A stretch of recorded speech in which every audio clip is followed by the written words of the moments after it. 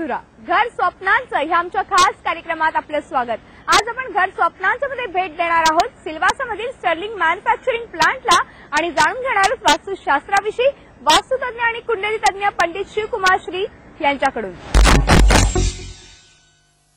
आपल्या रेसिडेन्शियल एरियामध्ये किंवा फार्म हाऊसमध्ये जनरेटरचा वापर करताना कोणत्या गोष्टींचा विचार केला पाहिजे किंवा सेफ्टीच्या दृष्टिकोनातून जनरेटर किती उपयुक्त आहे याविषयीच मार्गदर्शन करतायत स्टर्लिंग जनरेटरचे प्रेसिडेंट संजय जाधव. चला तर जाणून घेऊया जनरेटर विषयीच्या काही खास टिप्स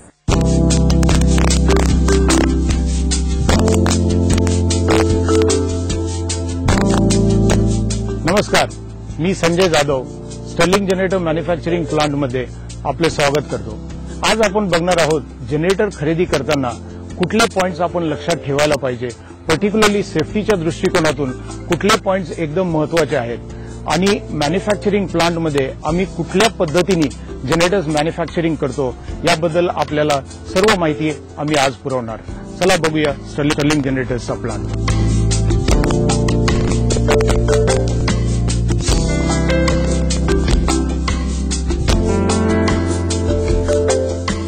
आता आपण स्टर्लिंग जनरेटर्सच्या मॅन्युफॅक्चरिंग प्लांटमध्ये उभे आहोत. स्टर्लिंग जनरेटर्स भारतीय बाजारपेठेत साधारण आठ वर्षापासून जनरेटर्स मॅन्युफॅक्चर करतात. आम्ही दहा केव्हीए पासून ते साधारणतः तीन हजार केव्हीए पर्यंत जनरेटर्स मॅन्युफॅक्चर करतो.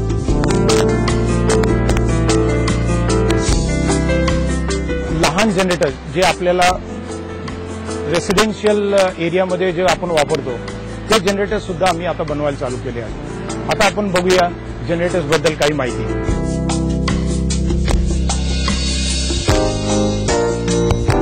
सुरुवातीला बघूया की जनरेटर्सचा जो बेस फ्रेम आहे ह्या बेस फ्रेमसाठी जो काही मटेरियल वापरतात आणि जी मॅन्युफॅक्चरिंग प्रोसेस आहे ही फार इम्पॉर्टंट आहे. कारण फायनली पूर्ण जो लोड आहे जनरेटरचा तो बेस फ्रेमवरती येतो. आणि याचं फॅब्रिकेशन आणि जी जे मटेरियल आपण वापरतो ते फार इम्पॉर्टंट आहे. त्याच्यानंतर आपण बघूया हाऊसिंग किंवा जे अपॉस्टिक मटेरियल आहे. अपॉस्टिक मटेरियल हे सुद्धा फार इम्पॉर्टंट आहे कारण त्याचं जे आयुष्यमान आहे जनरेटरचं हे त्याच्या अकॉस्टिकवरती डिपेंड करतं. पर्टिक्युलरली याची जी क्वालिटी आहे याचं जे थिकनेस आहे आणि त्याची फॅब्रिकेशन क्वालिटी दोन्ही इम्पॉर्टंट आहे. घरामध्ये ज्यावेळी आपण यूज करतो त्यावेळी त्याचं जे ॲस्थेटिक्स आहे ते पण इम्पॉर्टंट आहे. आणि जनरेटरमध्ये जे मटेरियल वापरलं आहे ते जनरेटरच्या आयुष्यासाठी फार इम्पॉर्टंट आहे. किती काळ त्याची रिलायबिलिटी आणि त्याची ड्युरेबिलिटी हे अकॉस्टिकवरती आहे.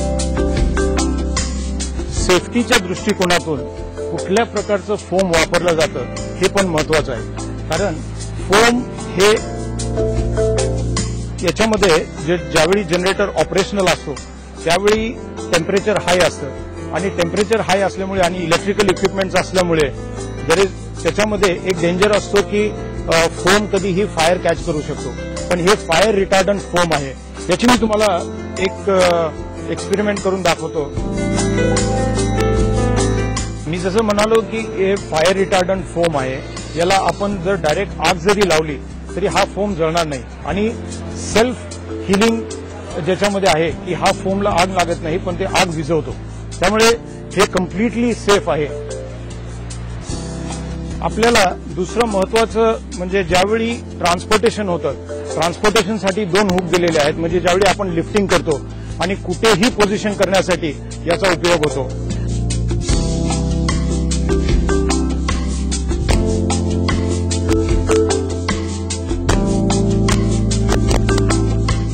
खालच्या बाजूला जे दोन होल्स दिलेले आहेत त्यामुळे जनरेटर ज्यावेळी ट्रान्सपोर्टेशन होतो त्यावेळी त्याला कसल्याही प्रकारचा डिस्टर्बन्स नको असतो. कारण जे इक्विपमेंट आहे ते व्यवस्थितपणे ट्रान्सपोर्टेशन व्हायला पाहिजे. कारण ज्यावेळी व्हायब्रेशन्स असतात आणि व्हायब्रेशनमुळे डॅमेज होऊ शकतो. आणि आपण पाहिलात तर याच्यामध्ये व्हायब्रेशन पॅड्स दिलेले आहेत. ज्यावेळी जनरेटर ऑपरेशनल असतो त्यावेळी हे व्हायब्रेशन पॅड त्याचं व्हायब्रेशन पूर्णपणे शोषून घेतात आणि इंजिनला त्याचा काही इफेक्ट होणार नाही याची काळजी घेतात.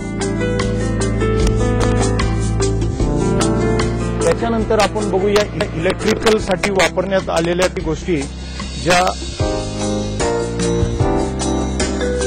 हा जनरेटरचा महत्त्वाचा भाग आहे. याच्यामध्ये इलेक्ट्रिकल पॅनल आहे आणि पॅनलमध्ये पर्टिक्युलरली हा जो पीस आहे याला आपण कंट्रोलर म्हणतो.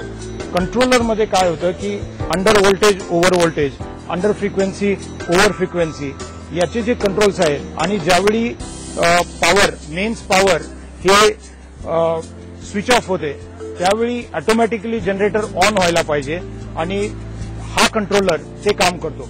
त्याला आपण असं एएमएफ म्हणजे ऑटोमॅटिक मेन्स फंक्शन हे नाव आहे त्याचं.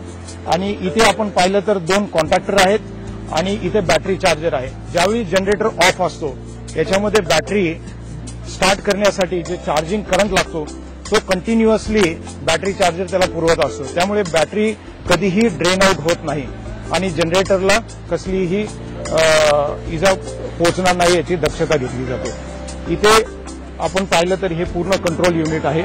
आणि कॉन्टॅक्टरचा जो यूज आहे तो जनरली ज्यावेळी अंडर व्होल्टेज किंवा ओव्हर व्होल्टेज अंडर फ्रिक्वेन्सी किंवा हायर फ्रिक्वेन्सी या दोन्ही गोष्टी ज्यावेळी होतात कॉन्टॅक्टर्स ऑपरेट होऊन जनरेटरला स्विच ऑफ करण्याला मदत करतात. तर पूर्णपणे इलेक्ट्रिकल सेफ्टी हे पूर्णपणे लक्षात घेऊन हा जनरेटर बनवलेला आहे.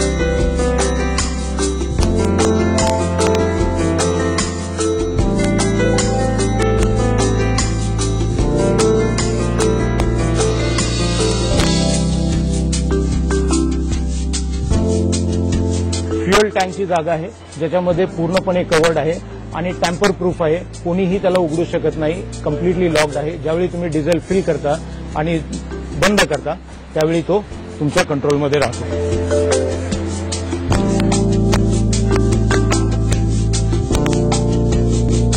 पुढे आपण पाहिलं तर सायलेन्सर सायलेन्सर हा हा जो भाग आहे जनरेटरचा हा ओपनमध्ये असतो.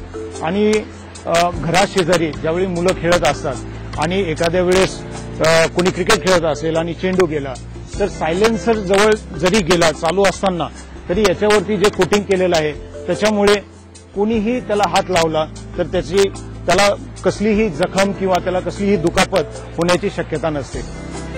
तुम्ही पाहिलं तर सायलेन्सर नंतर याचं याचं जे एक्झॉस्ट पायपिंग आहे हे एक्झॉस्ट पाइपिंग पूर्णपणे इंटरनल आहे. एक्सटर्नली कुठलंही एक्झॉस्ट पायपिंग नाही आहे तरी इंटरनली करून ते डायरेक्ट सायलेन्सरवरती जोडलेलं आहे. आणि सायलेन्सर वरून तुम्ही त्याला वरती अजून एक्झॉस्ट सोडायचं असेल तेही करू शकता.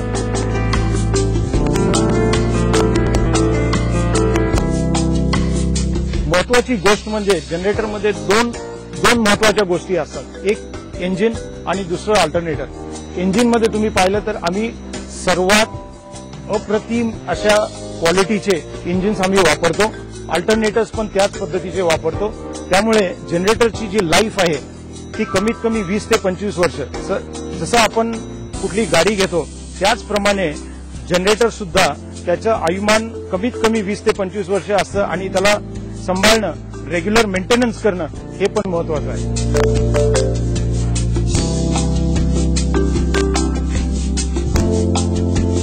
अजून एक जो सेफ्टीचा महत्त्वाचा भाग म्हणजे याच्यामध्ये इमर्जन्सी स्टॉप दिलेला आहे. कुठल्याही वेळी आपल्याला वाटलं की जनरेटरमध्ये काहीही प्रॉब्लेम आहे तर हा जो इमर्जन्सी स्टॉप आहे हे बटन दाबल्यानंतर पूर्णपणे जनरेटर स्विच ऑफ होतो. हे जनरेटर्स जनरली साधारणतः मोठे बंगलोज आपले रेसिडेन्शियल एरियामध्ये किंवा गेस्ट हाऊसमध्ये किंवा अपार्टमेंट्स आहेत छोटे अपार्टमेंट त्यामध्ये वापरता येतात. टेन केव्हीए ते पन्नास केव्हीए पर्यंत जनरली जनरेटर्स आपण अपार्टमेंट किंवा छोट्या बंगलोज किंवा गेस्ट हाऊस किंवा फार्म हाऊस अशा प्रकारे वापरू शकतो. पण इकडे जर पाहाल तुम्ही हा थोडा मोठा जनरेटर आहे. हे जे मुंबई किंवा पुण्यामध्ये ज्या मोठ्या बिल्डिंग्स आहेत मोठे अपार्टमेंट्स आहेत त्यासाठी ह्या रेटिंगचे जनरेटर वापरले जातात. तर साधारणतः आपल्या रेंजमध्ये टेन केव्हीए पासून टू हंड्रेड केव्हीए पर्यंत जनरली हे रेसिडेन्शियल ऍप्लिकेशनमध्ये वापरले जातात.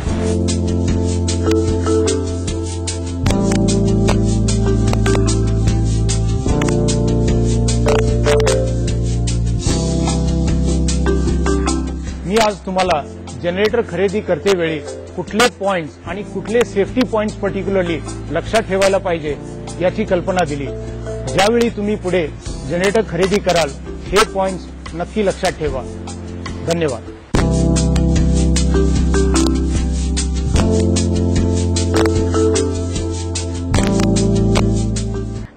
घराच्या भरभराटीसाठी आणि सुखसमृद्धीसाठी आपण वास्तुशास्त्राच्या मदतीने काय काय उपाय करू शकतो याबद्दलच मार्गदर्शन करतायत वास्तुतज्ञ आणि कुंडली तज्ञ पंडित श्रीकुमार श्री.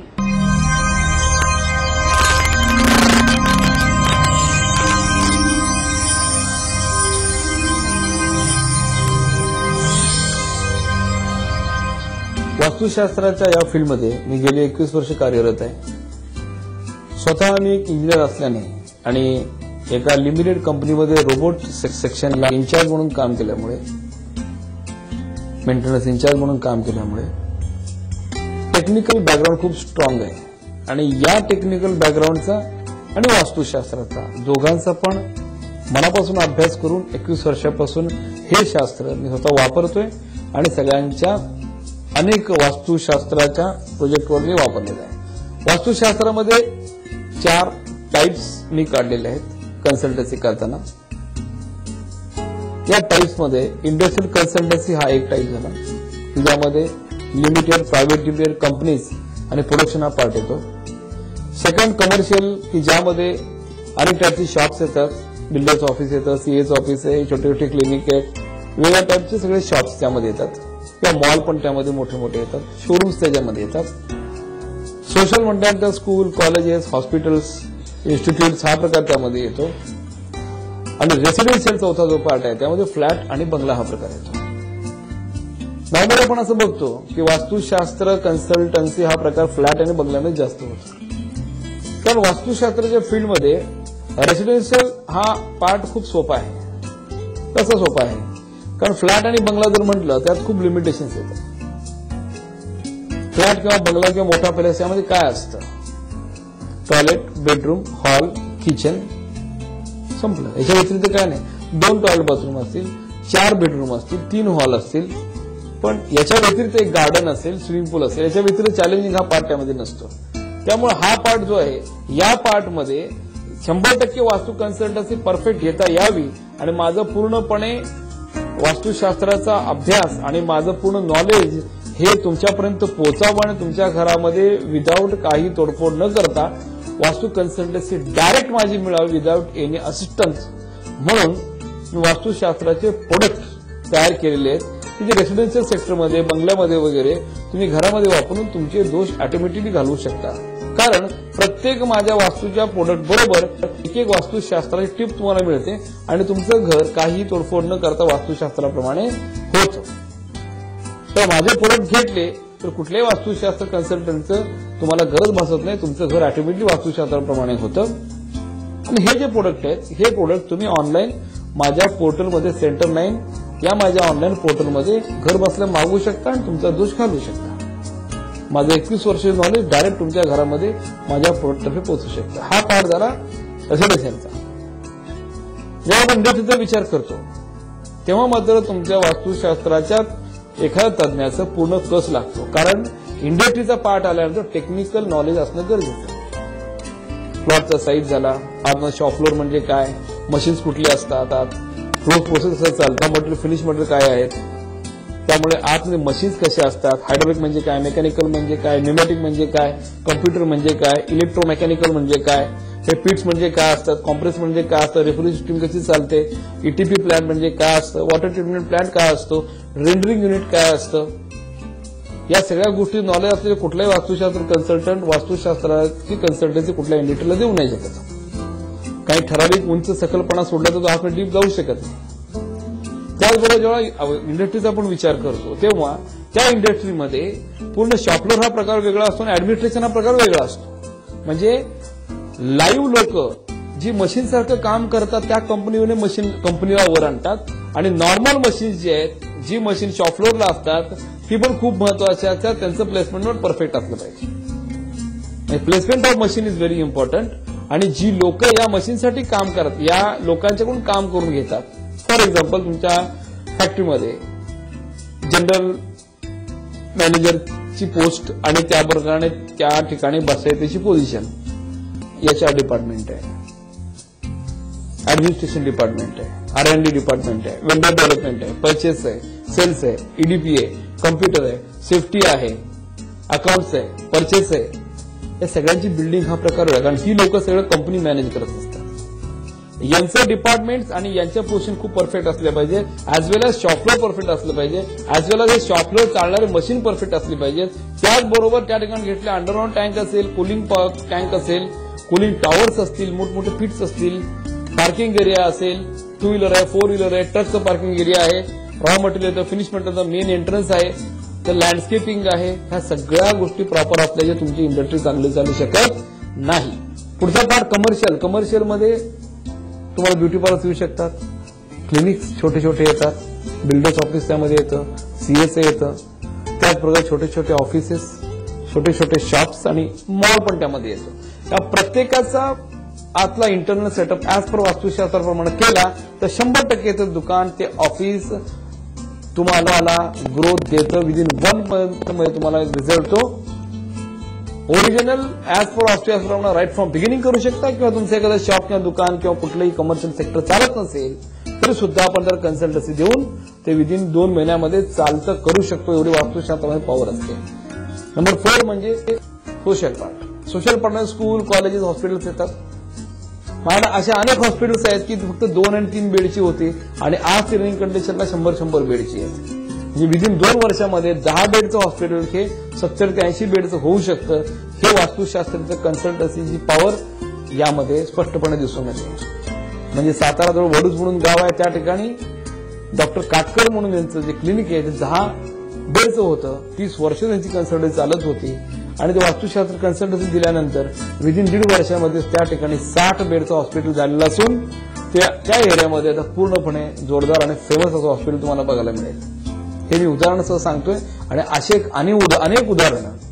अगदी शेतीसाठी पण फार्मासाठी पण कुठल्याही प्रोजेक्टसाठी शुगर फॅक्टरी असं असेल ऑइल मिल इंडस्ट्रीज असेल कुठलाही कमर्शियल सेक्टर असेल स्कूल कॉलेजेस पासून सगळ्या सेक्टरमध्ये वास्तुशास्त्र कन्सल्टंट झालेले याचं म्हणजे फोटो तुम्ही बघू शकता. आणि अशा प्रकारे वास्तुशास्त्राचा वापर तुमच्या जीवनामध्ये तुमच्या स्वतःच्या फॅक्टरीमध्ये तुमच्या स्वतःच्या ऑफिसेसमध्ये तुमच्या स्वतःच्या घरामध्ये करून तुम्ही सुखी समृद्धी आयुष्य शंभर टक्के जगू शकता आणि सुखी समाधानी होऊ शकता.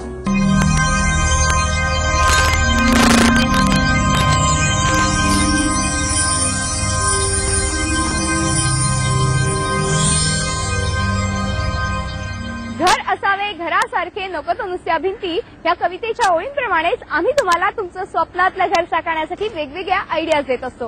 पुढच्या आठवड्यातही अशाच काही कल्पना आम्ही तुमच्यासाठी घेऊन येणार आहोत.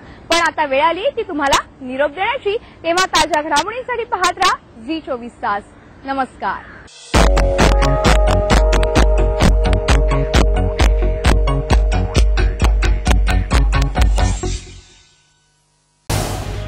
झी चोवीस तास. रहा एक पाऊल पुढे.